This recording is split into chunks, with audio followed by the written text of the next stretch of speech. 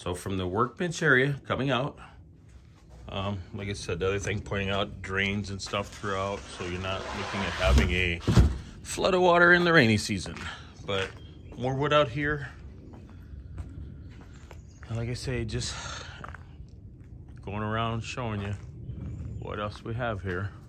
Coming into building number two, but before we do that, we'll come back here. You can see you've got your conduits for electricity and stuff like that. You've got water here as well.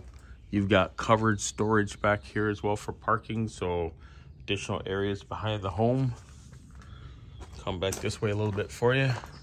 You can see we're covered under here as well. So basically pretty efficient about everything being used. You can see we've got additional lumber stored here as well.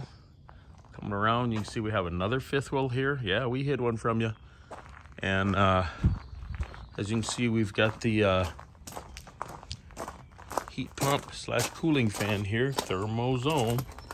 But like I said, if you're running home business, you're not worried about coming out here and having stuff overlapped so bad that you don't enjoy what you own. So let's take a look at the last building, shall we? Coming in, back to the front, open up. Here we go. So let's take a look at what we have here. Welcome to the man cave. Hate to say it that way, but as we look on the walls, you can sit there and see sometimes you just got to have that little retreat. Definitely wired, definitely heated. So let's, let's come around. Let me pan around for you. Another electrical box of its own out here. You see we've got a lines running for the uh, compressor for air. We'll come around this way. Room for the bike. Room for the ATV Let's pan around here. Definitely room galore in this thing for coming out here doing things. So if you're running a shop out of the home, um, I'll put it like this. This is beyond being a shop. You've got a three quarter bath out here. So that's really nice. You turn around and have a sink. So you have full functioning, all utilities. You can see the control head for this come around. Let's go upstairs.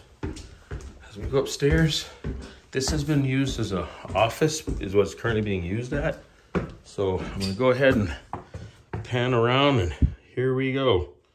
So like I said, the business opportunity here, if you want a home business is, is great. I know a lot of people running the home business, you know, we're talking overhead and expense. And, you know, nowadays in our current markets, the fact that um, you know, office space is not cheap and it, it's really wanted to be had. You can definitely see that this is just kind of a drop the furniture, you're home, turn the key, you're in.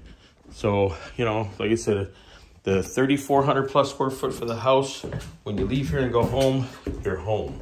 And as far as if you want your toys, got your toys, room for that too. When you turn around and you need somewhere to sit there and run the home business. As you can see, that is an oversized door right there as well.